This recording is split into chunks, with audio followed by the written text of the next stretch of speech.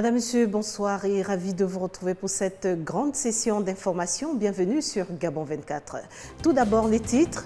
Au Gabon, à quelques semaines de la rentrée académique 2017-2018, les syndicats et la tutelle s'organisent pour que tout se déroule mieux que les années précédentes. Une réussite qui passe, entre autres, selon les syndicats, par l'installation de l'homme qu'il faut à la place qu'il faut au ministère de l'Éducation nationale.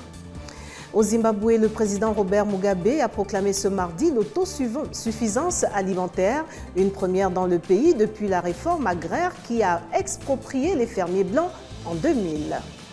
Vous verrez en Floride, le passage de l'ouragan laisse des millions de personnes sans électricité des routes impraticables, compliquant le retour des évacués chez eux. Voilà pour le fil conducteur de cette session. Madame, Monsieur, voici votre journal. Et nous commençons par euh, la page Gabon avec euh, une brève euh, sous la haute présidence de son Excellence Ali Bongo Ndimba, président de la République. Un conseil des ministres se tiendra ce mercredi 13 septembre à 11h dans la salle habituelle au palais de la présidence de la République. Tous les membres du gouvernement présents sur le territoire national doivent y prendre part. Toujours au Gabon, l'imagerie satellitaire s'invite désormais dans les affaires foncières et la gestion urbaine et c'est dans ce cadre que le ministre en charge des affaires foncières et du domaine public a effectué ce mardi une visite au centre de compétences, la GEOS, dans la zone économique spéciale d'Uncock à 27 km à la sortie de Libreville. Guy Mexan Mamiaka était en compagnie des experts de son département et de notre reporter Alexandre Nkogé. Comprendre le fonctionnement et collaborer avec l'Agence gabonaise d'études et d'observation spatiale AGEOS, c'est le but de la visite du ministre délégué auprès du Premier ministre chargé des affaires foncières et du domaine public ce mardi dans les locaux de la structure située à 24 km de Libreville. Sur les lieux, le patron du domaine foncier a eu droit à une série d'exposés des responsables et des techniciens. Pour mettre en œuvre les politiques publiques en matière de gestion du foncier, il nous faut prendre un certain nombre de décisions. Et ces décisions doivent pouvoir s'asseoir sur des informations fiables. Euh, la GEOS dispose d'un outil avec un panel de plusieurs applications qui peuvent nous permettre justement d'avoir l'information juste. La GEOS veut être un partenaire des autorités et souhaite apporter son expertise dans le développement du Gabon.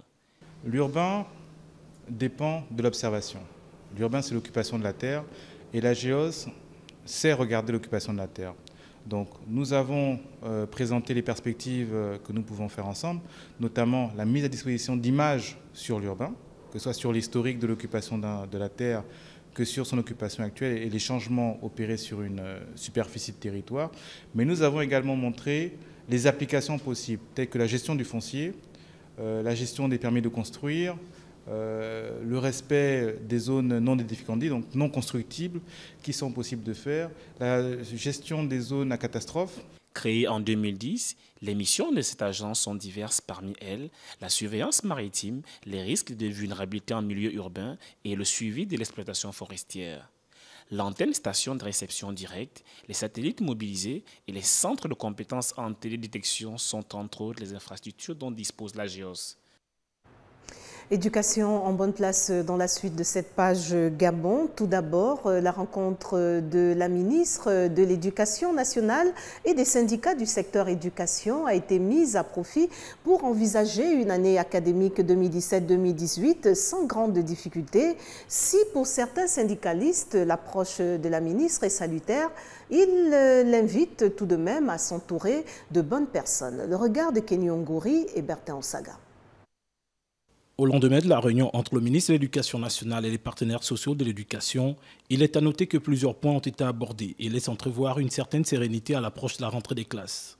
Il était euh, essentiellement question d'une euh, rencontre de prise de contact avec le ministre de l'Éducation nationale qui a bien voulu euh, rencontrer tous les partenaires sociaux de son secteur d'activité. Donc il nous a présenté sa vision, il nous a présenté ses souhaits pour euh, l'année scolaire 2017-2018. Donc il nous a demandé de l'accompagner pour que enfin le système éducatif soit redynamisé et relevé, en mettant euh, l'homme enseignant au centre des préoccupations. L'année écoulée, les syndicats avaient littéralement bloqué une partie des enseignements pour des raisons multiples, mais l'ancienne syndicaliste peut avoir le sursis de ses collègues, mais pas sans préalable non plus. Nous sommes des partenaires. Euh, nous sommes aussi également des enseignants, donc nous ne mettons pas en doute le, le plan de travail du ministère de l'Éducation nationale. Parce qu'il y a un plan de travail qui est fait, mais il faut l'exécuter. Mais il arrive qu'on n'arrive pas à l'exécuter parce qu'il y a des, contingences qui amènent à ce que euh, cette année, euh, l'année scolaire ne, soit pas, euh, ne démarre pas dans de bonnes conditions, parce qu'elle était mal préparée. Donc nous souhaitons simplement que le calendrier qui a été proposé aux enseignants, qui est un calendrier réaliste, puisse être respecté. Mais avant, il faut que la phase de préparation effective, c'est-à-dire l'affectation des enseignants, les nominations, l'orientation des élèves, les équipements souhaités soient à la disposition des enseignants afin que cette année, une fois, soit une année euh, qui puisse démarrer dans la sérénité. Le respect des engagements devra être effectif pour les deux parties et même d'entrevoir, si possible, une trêve de plusieurs années dans un secteur régulièrement en ébullition. L'année académique est prévue pour le mois d'octobre prochain et pourrait démarrer sans trop de difficultés selon certains syndicats. Après les barricades érigées devant le portail de l'université Omar Bongo de Libreville jusqu'à ce mardi matin, les préinscriptions pour la rentrée prochaine ont repris timidement. En témoigne ce constat de Chimène Sandra Sengon et Mirandangé. Autour de 9h ce mardi, lors du passage de nos équipes, le portail central de la principale université du Gabon, situé sur le boulevard Léomba, dans le premier arrondissement, était toujours fermé. Les barricades érigées depuis quelques jours en signe de protestation contre l'augmentation des frais d'écoulage et d'inscription ont été levées juste quelques temps après nous. Selon un étudiant qui a requis l'anonymat, les préinscriptions pour les nouveaux bacheliers ont bien repris ce mardi. Ces préinscriptions en ligne sont d'ailleurs faites par des étudiants eux-mêmes. À l'annonce de la mesure gouvernementale statuant sur les frais d'inscription et d'écoulage dans les universités publiques du Gabon, certains étudiants ont fait une marche pour manifester leur mécontentement vendredi dernier. Au lieu de 9 000 pour la licence, 20 000 pour les masters, désormais pour le cycle fondamental, le montant total s'élève pour les licences à 50 000 francs CFA, 75 000 francs CFA pour le master et 100 000 francs CFA pour le doctorat. Cette nouvelle tarification concerne les étudiants nationaux et ressortissants de la communauté économique et monétaire d'Afrique centrale, CEMAC. Pour Serge Longo, il s'agit d'une décision gouvernementale utile, voire nécessaire. Il en va de la survie de l'université Omar Bongo, a expliqué le conseiller du recteur, se basant sur la conclusion d'une enquête menée en 2010 par l'Agence universitaire de la francophonie à la demande de l'ancien recteur de l'université. Le rapport de cette enquête préconise des réformes courageuses face à universités en perte de vitesse. Le ministre en charge de la fonction publique, Jean-Marie Ogandanga, a donné des explications ce mardi sur la note circulaire 1343 relative à la suspension des recrutements des agents publics pendant 12 mois au Gabon. Retrouvons Chimène Sandra Sengon et Mirandangue. Le 31 juillet 2017, par le biais de la note circulaire 1343, le gouvernement gabonais décide de sursoir les recrutements dans la fonction publique et dans les établissements publics personnalisés.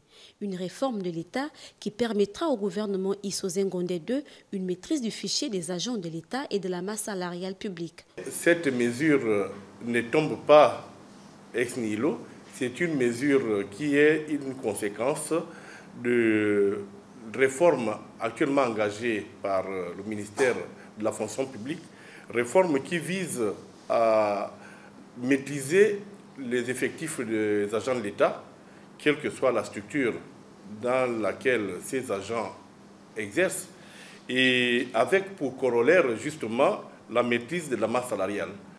Au cours du point de presse donné ce mardi, dans le but d'expliquer cette mesure gouvernementale, le ministre en charge de la fonction publique a relevé que la mesure temporaire concerne seulement 26% des agents de l'État. Les secteurs vitaux restent ouverts. Ces gels de recrutement, ce n'est qu'un arrêt.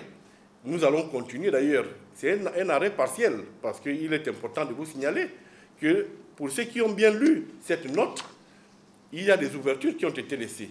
Une ouverture est laissée pour le secteur de l'éducation, une ouverture est laissée pour le secteur santé, une ouverture est laissée pour le secteur sécurité et défense. Donc nous n'avons pas tout fermé parce que ces secteurs sont des secteurs vitaux et on ne peut pas arrêter de recruter dans ces secteurs. Aidé par les experts de la Banque mondiale, le Gabon envisage de lancer un système intégré de gestion des ressources humaines devant permettre d'avoir des meilleures informations sur les agents de l'État. J'en viens à la construction des bassins versants à Libreville avant de tourner la page Gabon, une action qui tombe à point nommé juste avant le retour de la saison des pluies, occasion pour notre équipe de reporters de faire le tour des bassins versants en construction dans la capitale gabonaise, notamment dans les quartiers Nzengayon et Belle Peinture, respectivement dans le 6e et 3e arrondissement, régulièrement victimes des inondations. Scepticisme et optimisme sont au rendez-vous. Kenny Ongori, Bertrand Saga nous en disent plus. À l'approche du mois d'octobre, synonyme de grande saison de pluie au Gabon, les sociétés en charge de l'exécution des travaux des bassins versants sont à pied d'œuvre pour la réalisation, même si certains riverains estiment que les travaux traînent. Ça va s'arrêter d'ici 4 matins. Les grandes pluies arrivent. C'est ça. Ils auraient pu profiter de la petite saison, la grande saison sèche plutôt, pour évacuer tout ça. Normalement, ils doivent casser ce pont-là. Mais jusqu'à présent, ils sont encore sur le, le premier pont là, à l'école c'est triste. Ça traîne trop. Derrière le scepticisme de certains, l'espoir demeure tout de même chez d'autres résidents des zones inondables qui voient en cela une solution définitive aux problèmes récurrents d'inondation. C'est une bonne initiative parce que vis-à-vis, moi, j'ai déjà vécu là pratiquement 9 ans, 10 ans. Ici, là. Quand saison de pluie comme ça, vraiment, on est dans la merde. Mais de cette initiative, vraiment, ça prouve que les gens des zones des zones vivre maintenant tranquille. Vis-à-vis de ce que je vois, la façon qu'ils sont en train de faire le travail, là, ça peut, donner que les gens maintenant, s'ils ont les gens ne doivent pas s'inquiéter pour vivre encore en Zion. À l'exemple du quartier Belle Peinture, dans le 3e arrondissement de Libreville, les travaux ont déjà atteint une certaine vitesse. Certaines villas, régulièrement englouties par les eaux, ont été détruites et leurs propriétaires dédommagés pour un meilleur assainissement de cette zone régulièrement victime de la montée des eaux en saison de pluie. Poursuivons avec la page Afrique. Tout d'abord, en Tunisie, l'Assemblée des représentants du peuple a approuvé tard dans la soirée de ce lundi le remaniement ministériel partiel proposé par le chef du gouvernement, Youssef Chahed, pour euh, le Premier ministre. Il s'agit d'un gouvernement de combat chargé de continuer à mener la guerre contre le terrorisme, la corruption, le chômage et les inégalités régionales. Marina Boissa. Présent devant l'Assemblée lundi, Youssef Chahed, Premier ministre tunisien, espérait avoir l'unanimité des représentants du peuple de Tunisie afin de mener à bien la guerre lancée contre le terrorisme, la corruption, le chômage et les inégalités régionales, qu'il a commencé avec son précédent gouvernement.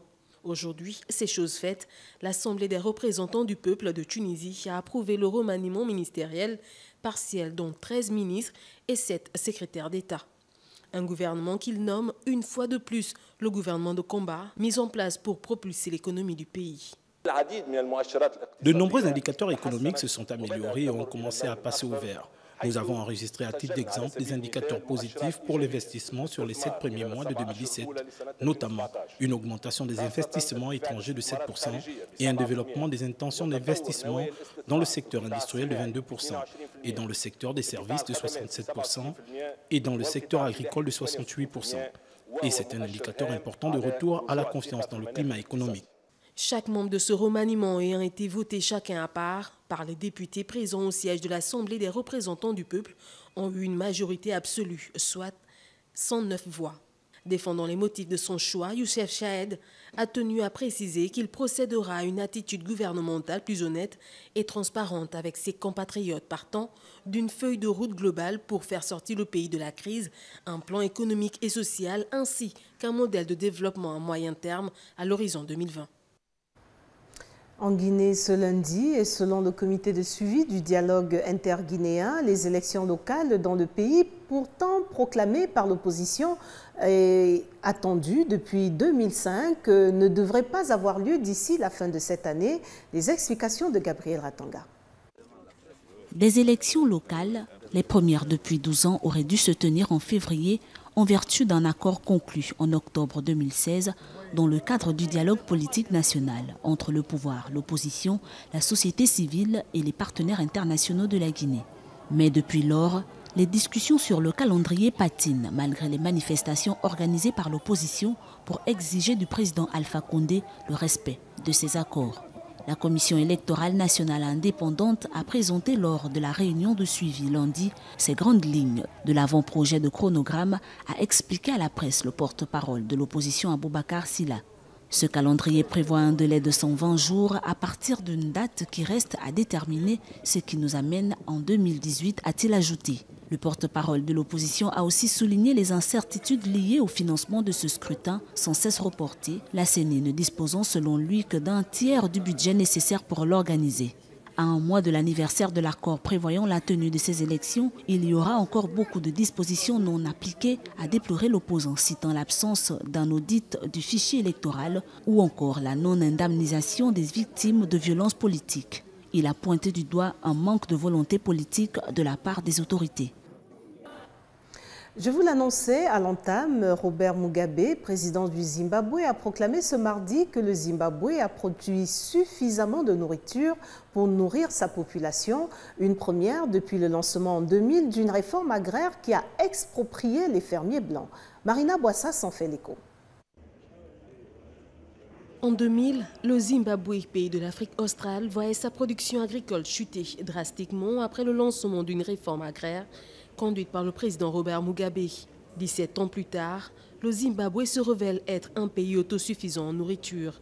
Ce mardi, le président a proclamé que le Zimbabwe avait produit suffisamment de nourriture pour nourrir sa population. Une première depuis l'an 2000, lors du lancement de cette réforme agraire controversée et qui voyait des fermiers blancs être expropriés. L'ancien grenier à céréales de l'Afrique australe, le Zimbabwe a réussi cette année à être de nouveau autosuffisant sur le plan alimentaire grâce à une bonne saison des pluies et l'introduction d'une centralisation de l'agriculture. Le Zimbabwe a ainsi enregistré une bonne récolte de maïs après plusieurs années catastrophiques. Aujourd'hui, le gouvernement s'attelle à consolider ces bons résultats en investissant notamment dans l'irrigation et la collecte d'eau. Direction la Somalie pour fermer la page Afrique et c'est en bref et en images. Un kamikaze a fait exploser une voiture piégée dans le centre de la capitale Mogadiscio ce mardi. Le bilan fait état d'un civil tué, d'une dizaine de blessés et de plusieurs dégâts matériels. Chassés de Mogadiscio en 2001, les kamikazes contrôlent toujours de vastes zones rurales et ont juré de perdre, de jurer la perte du gouvernement central somalien. Suivant les propos d'un responsable de police.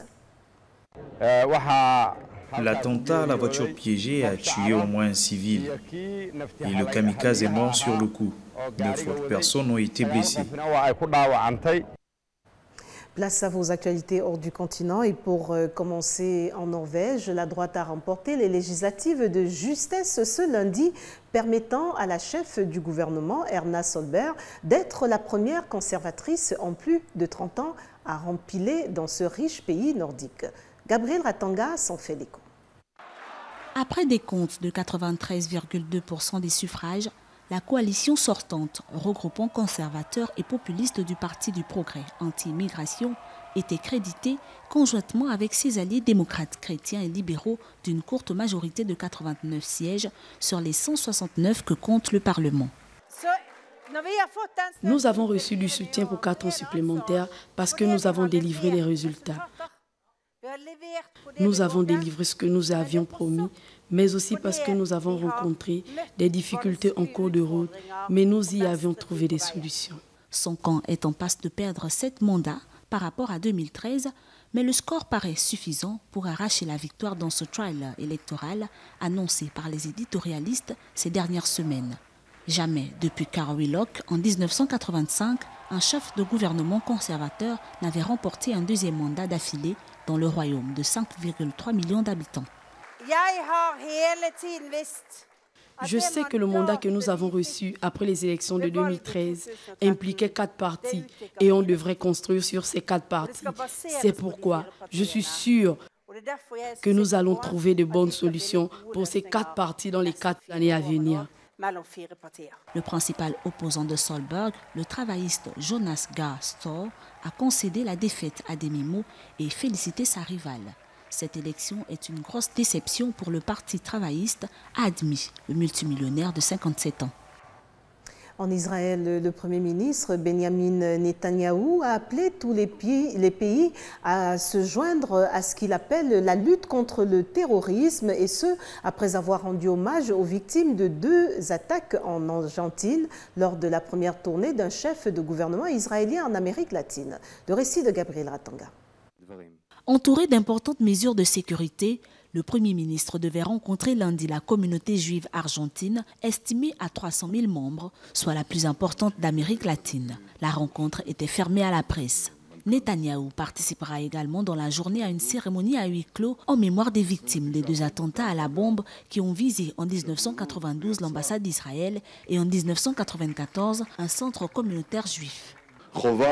C'est une obligation pour tous les pays de combattre le terrorisme en général et le système terroriste iranien en particulier, qui a laissé ici ces deux cas que j'ai mentionnés.